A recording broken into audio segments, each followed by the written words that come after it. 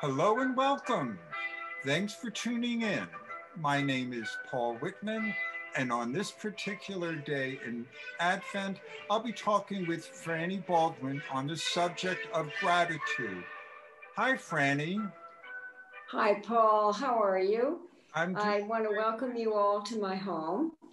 And uh, I guess uh, you want to hear, do you, a little bit about my um, my story, my life story. Uh, as far as as far as the church is concerned, um, I grew up in the Congregational Church. Um, we uh, attended the the church uh, throughout my whole growing up spirit, uh, period. My parents and my sisters too. It was part of our religious life. We were very involved in the church. Uh, anything from Sunday school to choir to potluck suppers, and um, but didn't know much about the Episcopal Church until I met Tyler Baldwin, who eventually became my husband.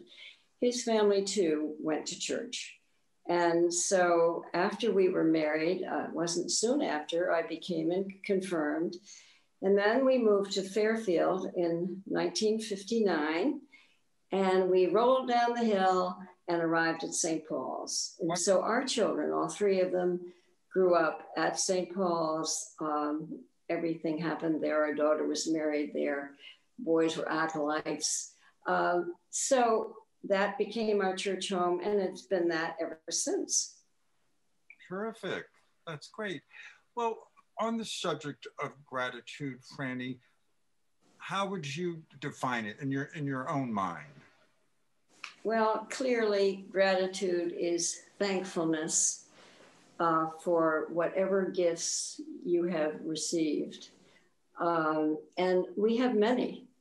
So I feel in particular I have been blessed with uh, a wonderful childhood and a wonderful husband and so many other things. But do you want me to give you my feeling about how gratitude evolves, Paul?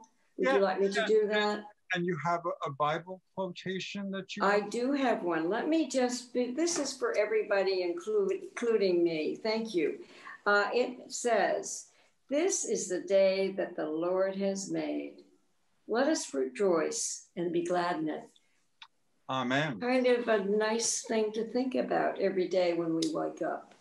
Um, so, yes, I am grateful for so much. Um, it all sort of evolves, though. When I was a little girl, like all of you little girls and boys, um, or all like any anyone really at a small age or a young age, we learn to say thank you. I mean, it's something our parents teach us that you're supposed to say. And you mean it when you get something that you weren't expecting or were expecting, doesn't matter. But then that's about it until you get on to high school, maybe, or even college, when you become more aware, the feelings start to come in to gratitude, to to your thankfulness. Your thank you becomes to starts to have a warm feeling. It can bring you a, smile. It can bring you maybe sometimes to tears.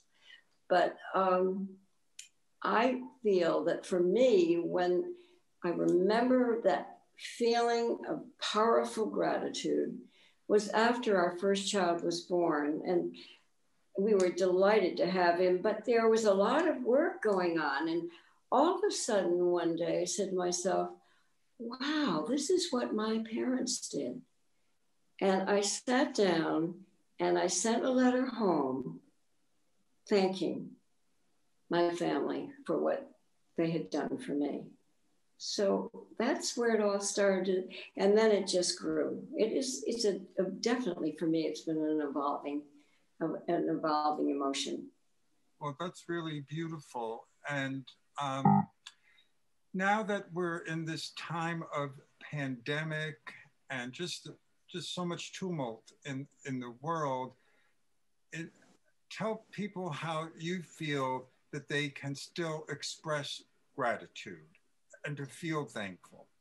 Well, you know, we um, we all have our ups and downs. It's not an easy time for any of us, and there's a lot of un, un sort of underneath the whole thing. There's this gravity, excuse me, not gravity, anxiety, excuse me, and um, I think everybody has that more or less, and some days more or less. Yes. But if you can concentrate on the fact we are in God's world, and I mean, the sun comes up in the morning and the moon comes up at night, and the stars come out on a starry night.